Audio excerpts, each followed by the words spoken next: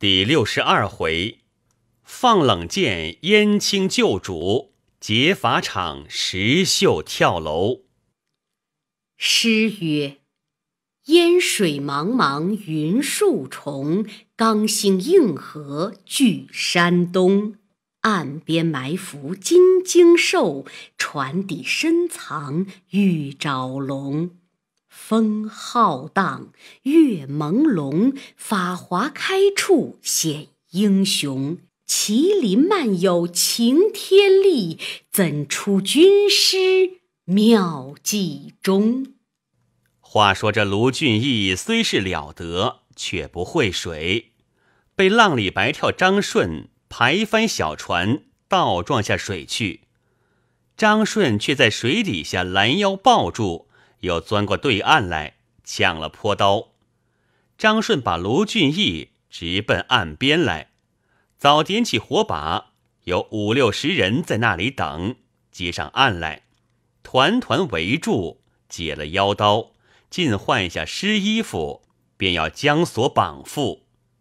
只见神行太保戴宗传令高叫将来，不得伤犯了卢员外贵体。随即差人将一包袱锦衣绣袄与卢俊义穿着，八个小喽啰抬过一圣轿来，扶卢员外上轿便行。只见远远的早有二三十对红纱灯笼，照着一簇人马，动着鼓乐前来迎接。围头宋江、吴用、公孙胜。后面都是众头领一齐下马，卢俊义慌忙下轿，宋江先跪，后面众头领排排的都跪下。卢俊义亦跪下还礼道：“既被擒捉，愿求早死。”宋江大笑说道：“且请员外上轿。”众人一齐上马，动着鼓乐。迎上三关，直到忠义堂前下马，请卢俊义到厅上，明晃晃的点着灯烛。宋江向前陪话道：“小可久闻员外大名，如雷贯耳。今日幸得拜时，大慰平生。却才众兄弟甚是冒渎，万其恕罪。”吴用上前说道：“昨奉兄长之命，特令吴某亲议门墙，以卖卦为由，转员外上山，共聚大义，一同替天行道。”宋江便请卢员外做第一把交椅。卢俊义答礼道：“不才无实无能，误犯虎威，万死尚轻，何故相系？”宋江陪笑道：“怎敢相戏？实慕员外威德，如饥如渴，万望不弃彼处，为山寨之主，早晚共听严命。”卢俊义回说：“宁就死亡，实难从命。”吴用道：“来日却有商议。”当时置备酒食管待。卢俊义无计奈何，只得饮了几杯。小喽啰请去后堂歇了。次日，宋江杀羊宰马，大排筵宴，请出卢员外来复席，再三再四谦让，在中间里坐了。久至数巡，宋江起身把盏陪话道：“也来甚是冲撞。”兴望宽恕，虽然山寨窄小，不堪歇马，员外可看忠义二字之面，宋江情愿让位，休得推却。卢俊义答道：“头领诧异，小可身无罪累，颇有些少家私，生为大宋人，死为大宋鬼，宁死实难听从。”吴用并众头领一个个说：“卢俊义越不肯落草。”吴用道：“员外既然不肯，难道逼乐？只留得员外身，留不得员外心。只是众弟兄难得员外到此，既然不肯入伙，且请小寨略住数日，却送还宅。卢俊义道：“小可在此不妨，只恐家中知道这般的消息，忧损了老小。”吴用道：“这事容易，先叫李固送了车仗回去，员外迟去几日，却何妨？”正面上交椅坐定，都放了心。吴用道：“李督管，你的车仗货物都有吗？”李固应道：“还一些不少。”宋江叫取两个大银，拔与李固；两个小银，即发当值的。那十个车脚，共与他白银十两。众人拜谢。卢俊义吩咐李固道。我的苦你都知了，你回家中，吩咐娘子不要忧心，我过三五日便回也。李固只要脱身，满口应说，但不妨事，辞了便下忠义堂去。吴用随即便起身说道：“员外宽心少坐，小生发送李固下山便来也。”有诗为证：“梁山人马太喽啰，声转卢公入网罗。抵死不为非礼事，未知终始果如何？”吴用这次起身已有计了，只推发送李固先到金沙滩等候。少客，李固和两个当值的。并车仗头口人伴都下山来，吴用将引五百小喽啰围在两边，坐在柳荫树下，便唤李固近前说道：“你的主人已和我们商议定了，今做第二把交椅。此乃未曾上山时，预先写下四句反诗，在家里壁上。我叫你们知道，壁上二十八个字。”每一句包着一个字，芦花荡里一扁舟，包个芦字；俊杰哪能此地游，包个俊字；义士手提三尺剑，包个义字；反时须斩逆臣头，包个反字。这四句诗包藏卢俊义反四字。今日上山，你们怎知？本待把你众人杀了，显得我梁山坡行短。今日放你们星夜自回去，休想望你主人回来。李固等只顾下拜，吴用叫把船送过渡口，一行人上路奔回北京。正是鳌鱼脱却金钩去，摆尾摇头更不回。话分两处，不说李固等归家，且说吴用回到忠义堂上，再入酒席，用巧言令色说诱卢俊义。言会直到二更方散。次日，山寨里再排宴会庆贺。卢俊义说道：“敢承众头领好意相留在下。”只是小可度日如年，今日告辞。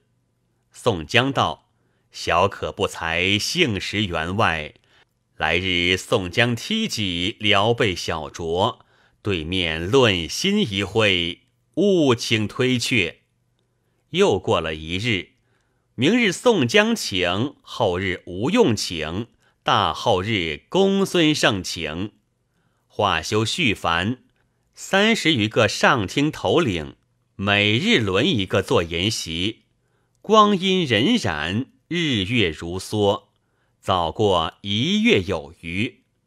卢俊义寻思又要告别，宋江道：“非是不留员外，怎奈急急要回？来日忠义堂上安排薄酒送行。”次日，宋江又梯己送路。只见众头领都道：“俺哥哥敬员外十分，俺等众人当敬员外十二分。凭我哥哥筵席便吃，砖而何厚，瓦而何薄。”李逵在内大叫道：“我舍着一条性命，指望北京请得你来，却不吃我弟兄们筵席，我和你眉尾相结，性命相扑。”吴学究大笑道：“不曾见这般请客的，甚是粗鲁。员外休怪，见他众人一搏，再住几时？”不觉又过了四五日。卢俊义坚毅要行，只见神机军师朱武将引一班头领，直到忠义堂上开话道：“我等虽是以次弟兄，也曾与哥哥出力气，偏我们酒中藏着毒药。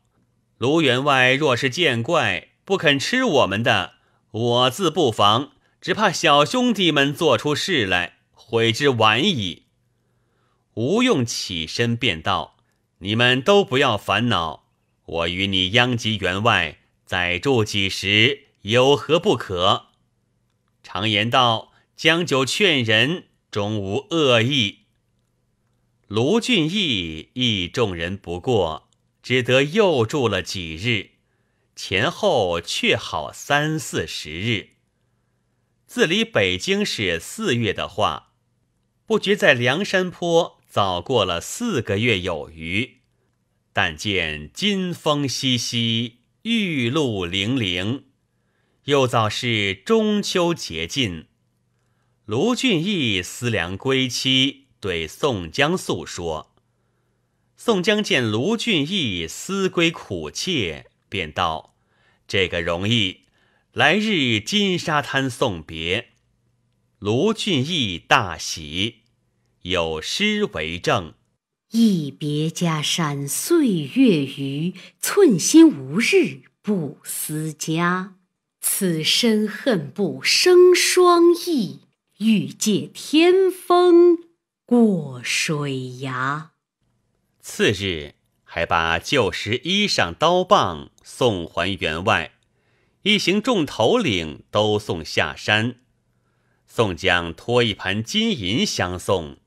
卢俊义推道：“非是卢某说口，金帛钱财家中颇有，但得到北京盘缠足矣。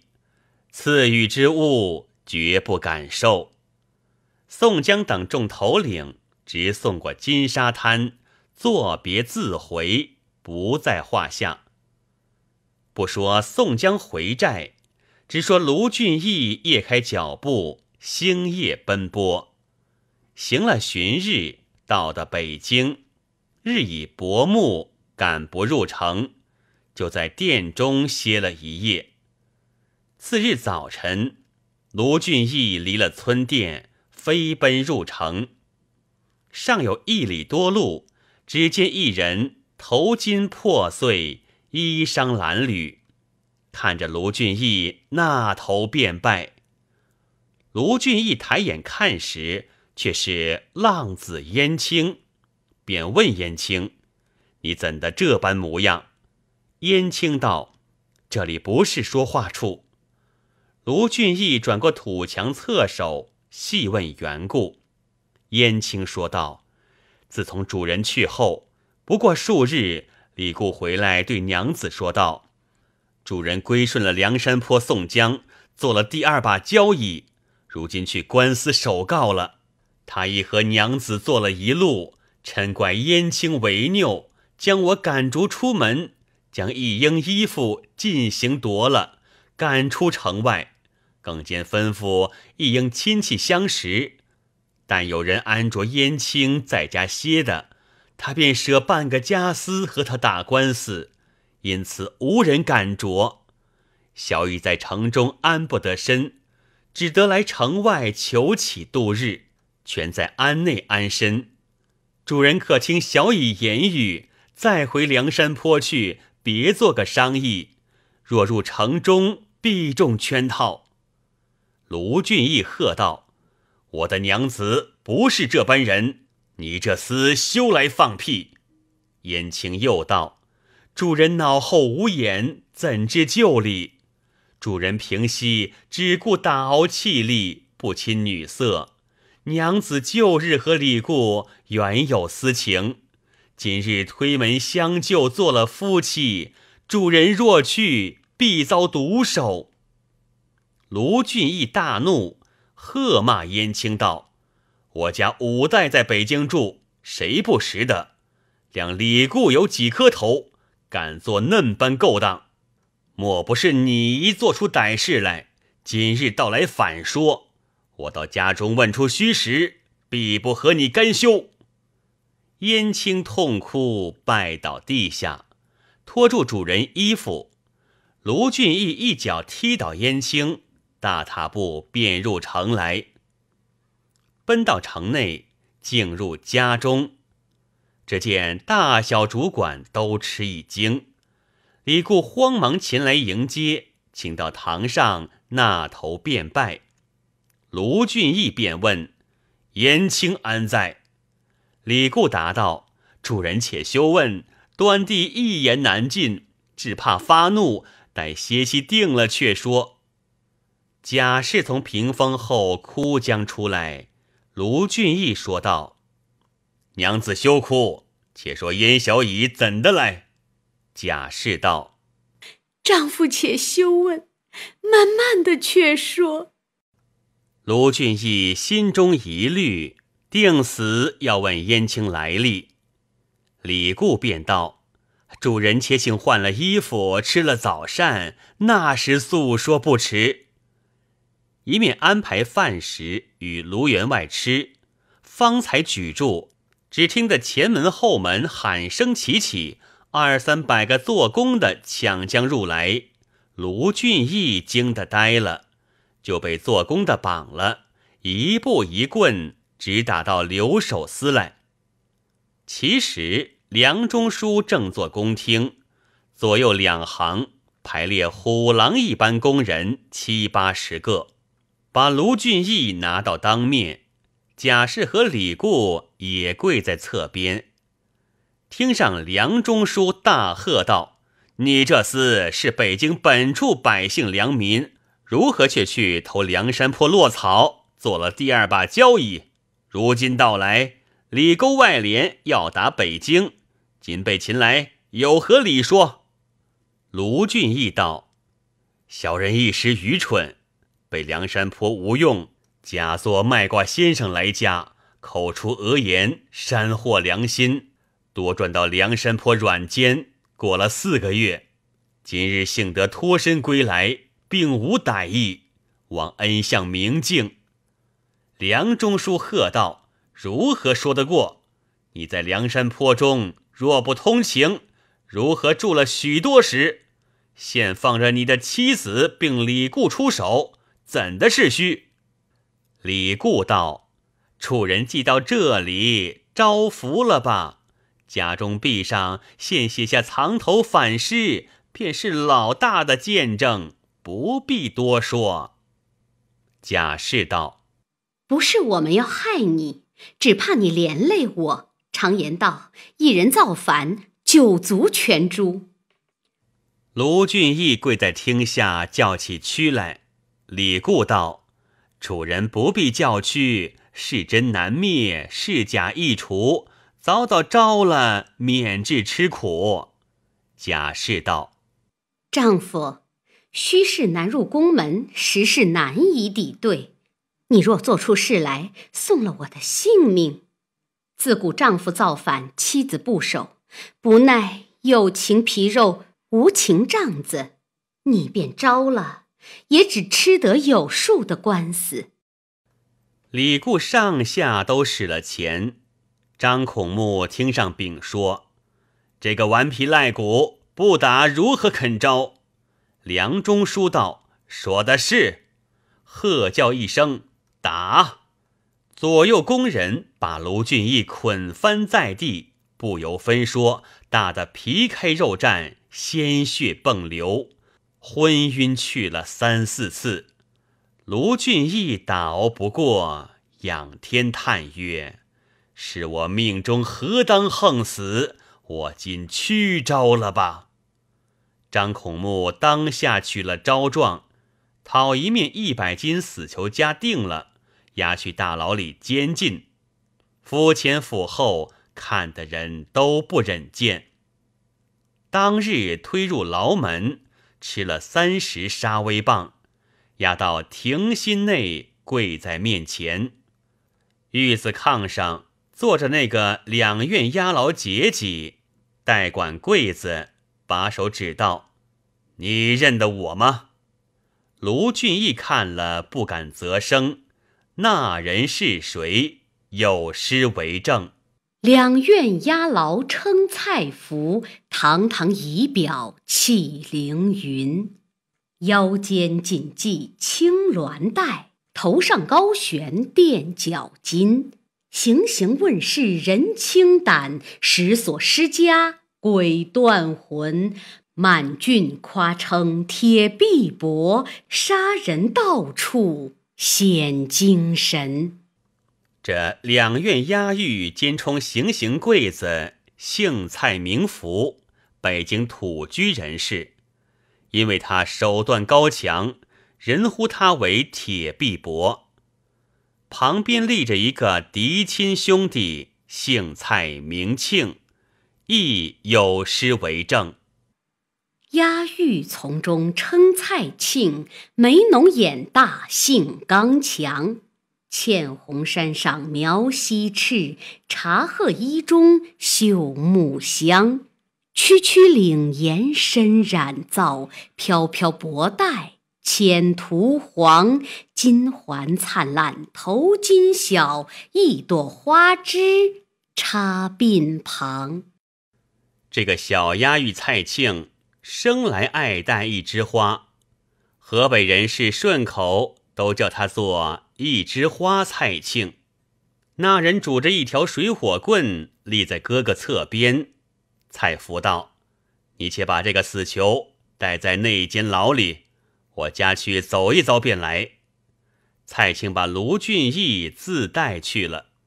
蔡福起身出离牢门来，只见司前墙下转过一个人来，手里提着饭罐，面带忧容。蔡福认的是浪子燕青，蔡福问道：“燕小乙哥，你做什么？”燕青跪在地下，噙着两行珠泪，告道：“节季哥哥，可怜见小人的主人卢员外吃屈官司，又无送饭的钱财，小人城外教化得这半罐子饭，全与主人充饥。节季哥哥怎的做个方便？”便是重生父母，再长爷娘。说罢，泪如雨下，拜倒在地。蔡福道：“我知此事，你自去送饭，把与他吃。”燕青拜谢了，自进牢里去送饭。蔡福转过周桥来，只见一个茶博士叫住，唱惹道：“姐姐，有个客人在小人茶房那楼上。”专等节气说话。蔡福来到楼上看时，却是主管李固。各施礼罢，蔡福道：“主管有何见教？”李固道：“奸不思瞒，俏不思欺。小人的事都在节气肚里。今夜晚间，只要光前绝后，无甚孝顺，五十两蒜条金在此，送与节气。”厅上官吏，小人自去打点。蔡福笑道：“你不见正厅界石上刻着‘下民易虐，上苍难欺’？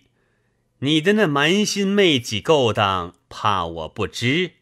你又占了他家私，谋了他老婆，如今把五十两金子与我，结果了他性命。日后提刑官下马。”我吃不得这等官司。李固道：“只是节气嫌少，小人再添五十两。”蔡福道：“李固，你割猫尾拌猫饭，北京有名嫩的一个员外，只值得这一百两金子。你若要我倒的他，不是我诈你，只把五百两金子与我。”李固便道：“金子有在这里，便都送与节己。只要今夜晚些成事。”蔡福收了金子，藏在身边，起身道：“明日早来扛尸。”李固拜谢，欢喜去了。蔡福回到家里，却才进门，只见一人接起炉帘，随即入来。那人叫声。蔡节季相见，蔡福看时，但见那一个人生得十分标致，有诗为证：身穿鸦翅青团领，腰系羊脂玉闹装，头戴俊仪冠一具，足蹑珍珠履一双。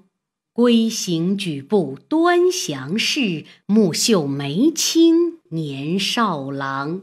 礼贤好客为柴进，四海驰名小孟尝。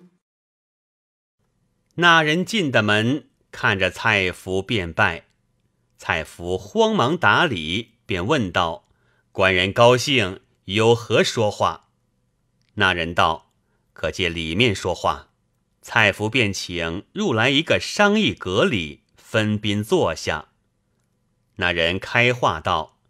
节季休要吃惊，在下便是沧州横海郡人士，姓柴名进，大周皇帝嫡派子孙，绰号小旋风的便是。只因好逸疏财，结识天下好汉，不幸犯罪，流落梁山坡。今奉宋公明哥哥将令，差遣前来打听卢员外消息。谁知被赃官污吏、淫妇奸夫通情陷害，监在死囚牢里，一命悬丝，尽在足下之手，不必生死。特来道宅告知，如是留得卢员外性命在世，佛眼相看，不忘大德。但有半米而差错，兵临城下，降至壕边，无闲无余。无老无幼，打破城池，尽皆斩首。久闻足下是个仗义权忠的好汉，无物相送，今将一千两黄金薄礼在此。倘若要捉柴进，就此便请绳索，誓不皱眉。蔡福听罢，吓得一身冷汗，半晌答应不得。柴进起身道。好汉做事，休要踌躇，便请一决。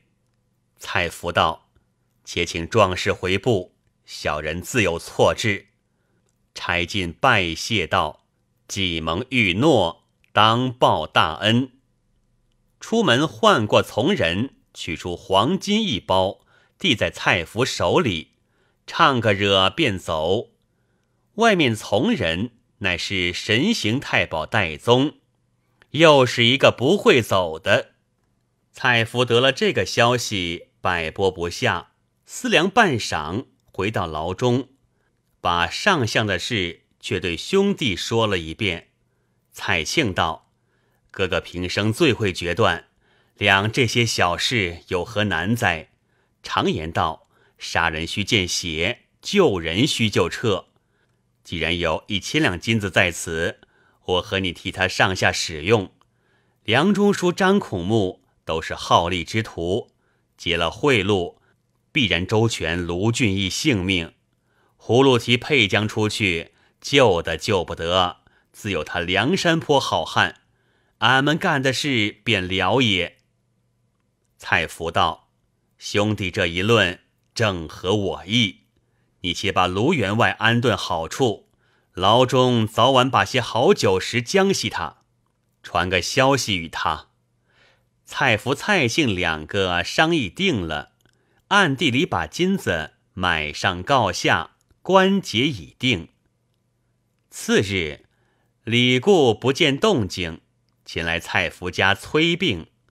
蔡庆回说：“我们正要下手结果他，中书相公不肯，已有人吩咐。”要留他性命，你自去上面使用，嘱咐下来，我这里何难？”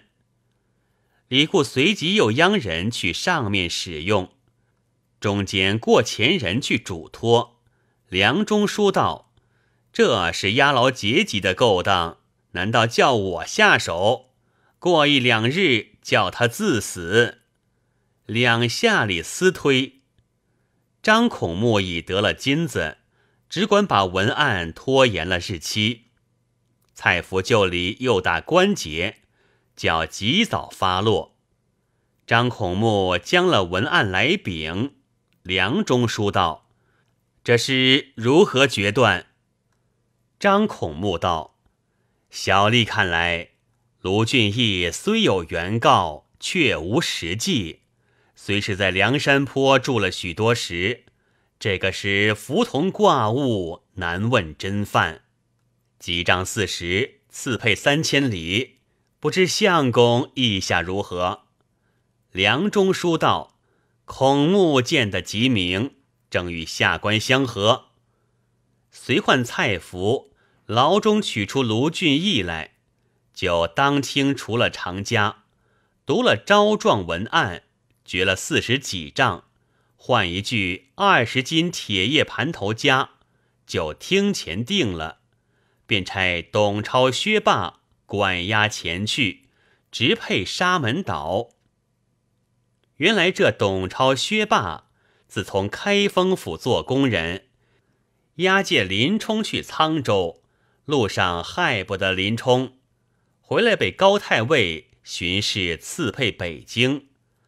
梁中书因见他两个能干，就留在留守司勾当。今日又差他两个监押卢俊义。当下，董超、薛霸领了公文，带了卢员外，离了州衙，把卢俊义监在使臣房里，各自归家，收拾行李包裹，即便启程，有诗为证：“家世奸淫罪不才，忍将夫主构行哉。”若非柴进行金蝶，俊逸安能配出来？且说李固得知只教的苦，便叫人来请两个防送工人说话。董超、薛霸到的那里酒店里，李固接着请至阁里坐下，一面铺排酒食管待。三杯酒罢，李固开言说道。实不相瞒上下，卢员外是我仇家，如今配去沙门岛，路途遥远，他又没一文，叫你两个空费了盘缠，急待回来也得三四个月。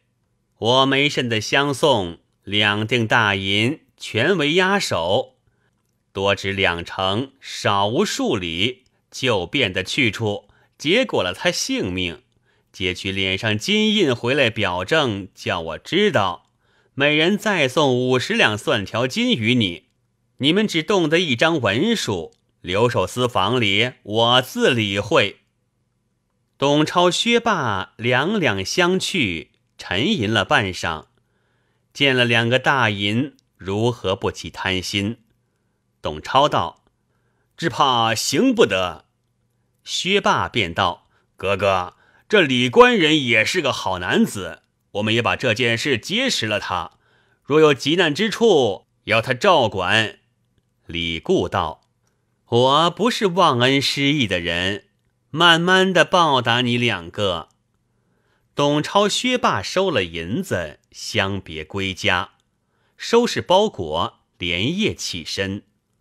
卢俊义道：“小人今日受刑，胀疮疼痛。”容在明日上路。薛霸骂道：“你便闭了鸟嘴！老爷自晦气，撞着你这穷神。沙门岛往回六千里有余，费多少盘缠？你又没一文，叫我们如何不拜？”卢俊义诉道：“念小人负屈含冤，上下看去则个。”董超骂道：“你这财主们，闲长一毛不拔！”今日天开眼，报应的快，你不要怨唱，我们相帮你走。卢俊义忍气吞声，只得走动。行出东门，董超、薛霸把衣包、雨伞都挂在卢员外家头上，况是求人，无计奈何。哪堪又值晚秋天气，纷纷黄叶堕，对对赛鸿飞。心怀四海三江闷，复饮千辛万苦愁。忧闷之中，只听得横笛之声。俊逸吟诗一首：“谁家玉笛弄清秋，缭乱无端恼客情。”自是断肠听不得，非敢吹出断肠声。两个工人一路上做好做恶，管押了行。看看天色傍晚，约行了十四五里，前面一个村镇，寻觅客店安歇。旧时客店，但见工人监押囚徒来歇。不敢要房钱，当时小二哥引到后面房里，安放了包裹。薛霸说道：“老爷们苦杀是个工人，哪里到来服侍罪人？你若要吃饭，快去收火。”卢俊义只得带着家来到厨下，问小二哥讨个草柴，复做一块，来灶前烧火。小二哥替他淘米做饭、洗刷碗盏。卢俊义是财主出身，这般事却不会做。草柴火把又湿又烧不着，一齐灭了。斧能尽力一吹，被灰迷了眼睛。董超又喃喃讷讷的骂。做的饭熟，两个都成去了。卢俊义并不敢讨吃。两个自吃了一回，剩下些残汤冷饭与卢俊义吃了。薛霸又不住声骂了一回。吃了晚饭，又叫卢俊义去烧脚汤。等得汤滚，卢俊义方敢房里去坐地。两个自洗了脚，多一盆百间滚汤，转卢俊义洗脚。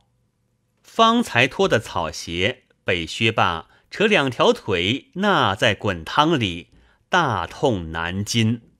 薛霸道：“老爷服侍你，颠倒做嘴脸。”两个工人自去炕上睡了，把一条铁锁将卢员外锁在房门背后，生唤到四更。两个起来叫小二哥做饭，自吃了出门。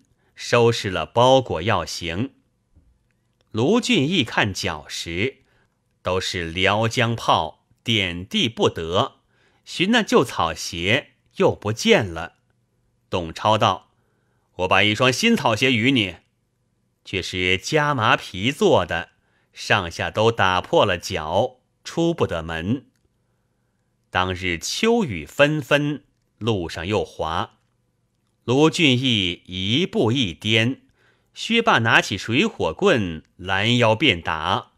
董超假意去劝，一路上埋怨叫苦。离了村店，约行了十余里，到一座大林。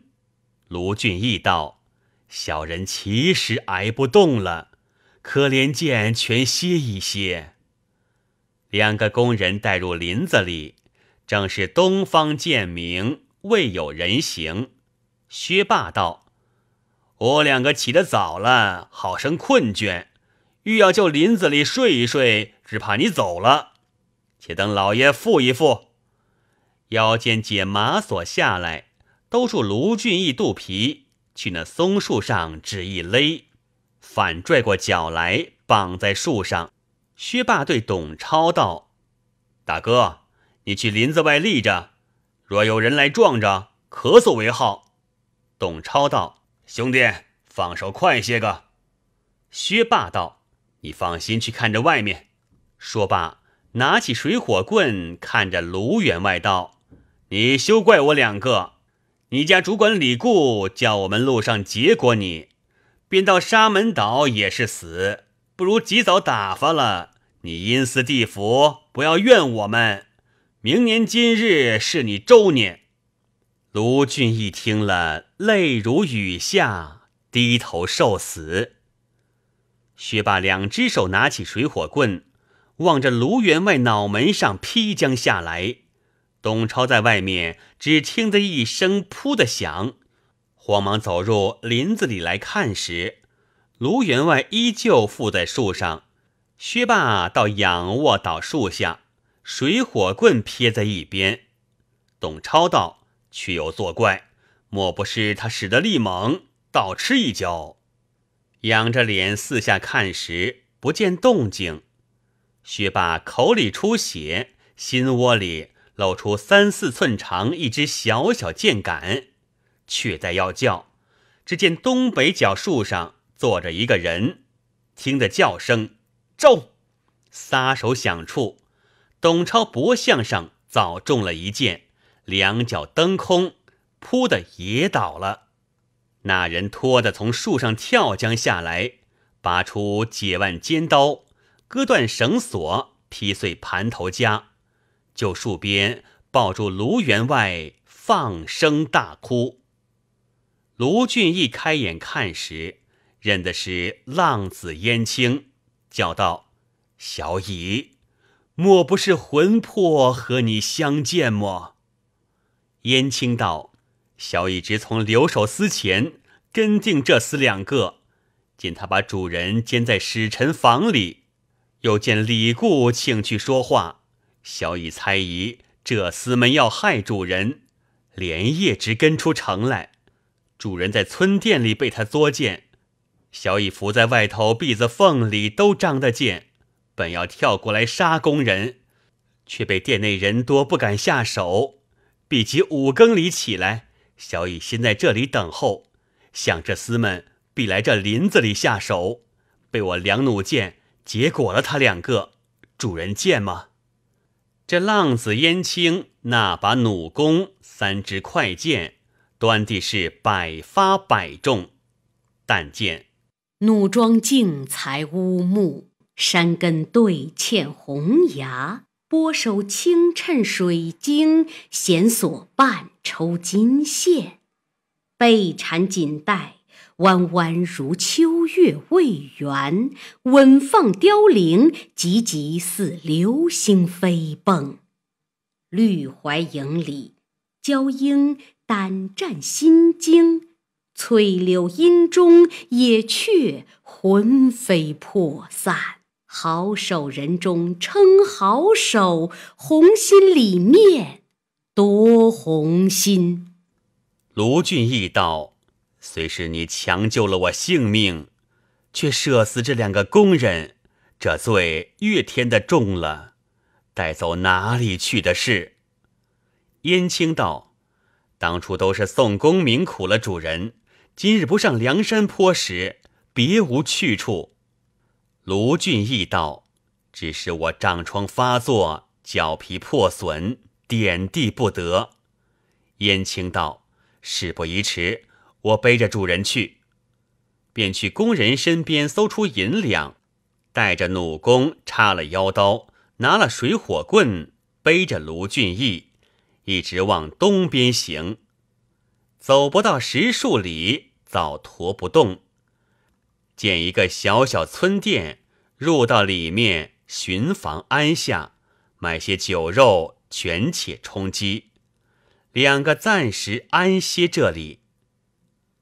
却说过往人看见林子里射死两个工人在比，近处社长报与李正得知，却来大名府里首告，随即差官下来检验，却是留守司工人董超、薛霸，回复梁中书，着落大名府缉捕观察，显了日期，要捉凶身，做工的都来看了。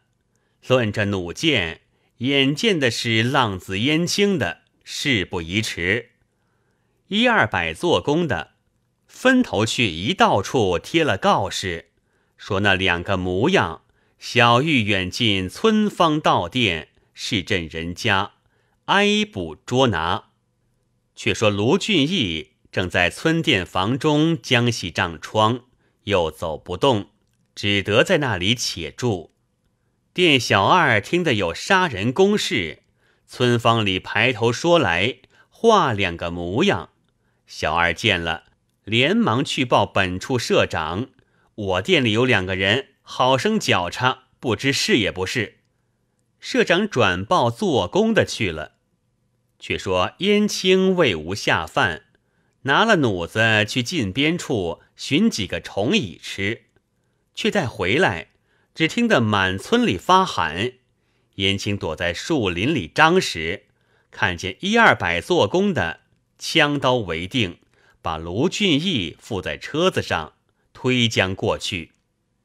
燕青要抢出来救时，又无军器，只得叫苦，寻思道。若不去梁山坡报与宋公明得知，叫他来救，却不是我误了主人性命。当时取路行了半夜，肚里又饥，身边又没一文，走到一个土缸子上，丛丛杂杂有些树木，就林子里睡到天明，心中忧闷。只听得树枝上喜鹊聒聒噪噪。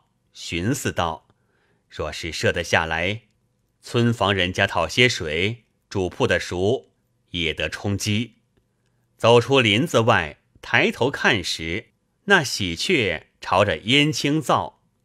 燕青轻轻取出弩弓，暗暗问天买卦，望空祈祷，说道：“燕青只有这一支箭了，若是救得主人性命，箭到处。”灵雀坠空，若是主人命运何休？见到灵雀飞去，搭上箭叫声：“如意不要误我！”弩子响处，正中喜鹊后尾，带了那支箭，直飞下岗子去。燕青大踏步赶下岗子去，不见了喜鹊。正寻之间，只见两个人从前面走来。怎生打扮？但见前头的戴顶猪嘴头巾，脑后两个金果银环，上穿香皂罗衫，腰系销金搭帛，穿半袭软袜麻鞋，提一条齐眉棍棒。后面的白范阳遮尘栗子，茶褐攒线绸衫，腰系绯红缠带，脚穿踢土皮鞋。背了衣包，提条短棒，挎口腰刀。这两个来的人正和燕青打个尖丝拍。燕青转回身看了这两个，寻思道：“我正为盘缠，何不两拳打倒两个，夺了包裹，却好上梁山坡？”揣了弩弓，抽身回来。这两个低着头，只顾走。燕青赶上。把后面带粘力的后心一拳扑的打倒，却待叶拳再打那前面的，反被那汉子手起棒落，正中燕青左腿，打翻在地。后面那汉子爬将起来，踏住燕青，撤出腰刀，劈面门便剁。燕青大叫道：“好汉，我死不防！着谁上梁山坡报信？”那汉便不下刀。收住了手，提起燕青问道：“你这厮上梁山坡报什么音信？”燕青道：“你问我待怎的？”那前面的好汉把燕青手一托，却露出手腕上花绣，慌忙问道：“你不是卢员外家什么浪子燕青？”燕青想到左右是死，率性说了，叫他捉去和主人阴魂坐一处。便道：“我正是卢员外家浪子燕青，今要上梁山坡报信，叫宋公明救我主人则个。”二人见说，哈哈大笑，说道：“早是不杀了你，原来正是燕小乙哥。你认得我两个吗？穿造的不是别人，梁山坡头领并关锁杨雄，后面的便是拼命三郎石秀。”杨雄道。我两个今奉哥哥将令，差往北京打听卢员外消息。燕青听的是杨雄、石秀，把上件事都对两个说了。杨雄道：“既是如此说时，我和燕青上山寨保持哥哥，别做个道理。你可自去北京打听消息，便来回报。”石秀道：“最好。”便把包裹与燕青背了，跟着杨雄连夜上梁山坡来，见了宋江。燕青把上相事背细说了一遍，宋江大惊，便会众头领商议良策。且说石秀只带自己随身衣服来到北京城外，天色已晚，入不得城，就城外歇了一宿。次日早饭罢，入得城来，但见人人皆叹，个个伤情。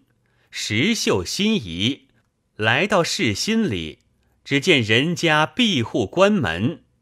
石秀问是户人家时，只见一个老丈回言道：“客人你不知，我这里北京有个卢员外，等地财主，因被梁山坡贼人掳掠前去，逃得回来，倒吃了一场屈官司，叠配去沙门岛。”又不知怎的，路上坏了两个工人，昨夜拿来，今日午时三刻寄来这里市曹上斩他。客人可看一看。石秀听罢，走来市曹上看时，十字路口是个酒楼，石秀便来酒楼上临街占个阁坐下。酒保前来问道：“客官还是请人，还是独自酌杯？”石秀睁着怪眼说道：“大碗酒，大块肉，只顾卖来，问什么鸟？”酒保倒吃了一惊，打两角酒，切一大盘牛肉，将来只顾吃。石秀大碗吃了一回，坐不多时，只听得楼下街上热闹，石秀便去楼窗外看时。只见家家闭户，铺铺关门。酒保上楼来道：“客官醉也，楼下出公事，快算了酒钱，别处去回避。”石秀道：“我怕什么鸟？你快走下去，我要讨老爷打吃。”酒保不敢作声，下楼去了。不多时，只见街上锣鼓喧天家来，但见。两声破鼓响，一棒碎锣鸣。早到旗招展如云，柳叶枪交加似雪。范油排前引，白混棍后随。押牢节级狰狞，仗刃工人猛勇。高头马上，监斩官胜似活阎罗。刀剑林中，掌法力犹如追命鬼。可怜识字皆心里，要杀含冤负屈人。石秀在楼窗外看时，十字路口周回围住法场，十数对刀棒柜子前排后拥，把卢俊义押到楼前跪下。铁臂膊蔡福。拿着法刀，一枝花蔡庆扶着家梢，说道：“卢员外，你自精细看，不是我弟兄两个救你不得，是做捉了。前面武圣堂里，我已安排下你的座位了，你可一魂去那里领受。”说罢，人从中一声叫道：“午时三刻到了。”一边开家。蔡庆早拿住了头，蔡福早撤出法刀在手。当按孔目高声读罢范油牌，众人齐喝一声。楼上石秀只就那一声喝里，撤着腰刀在手，应声大叫：“梁山坡好汉全伙在此！”蔡福、蔡庆撇了卢员外，扯了绳索先走。石秀从楼上跳江下来，手举钢刀，杀人似砍瓜切菜，走不迭的砍翻十数个，一只手托住卢俊义，头南便走。原来这石秀不认得北京的路，更见卢员外惊得呆了，越走不动。梁中书听得报来，大惊，便点帐前头目，引了人马，分头去把城四门关上，差前后做工的合江拢来。快马强兵怎出高城峻垒？且看石秀、卢俊义走向哪里出去？正是分开陆地无涯沼，飞上青天欠羽毛。毕竟卢员外同石秀当下怎的脱身？且听下回分解。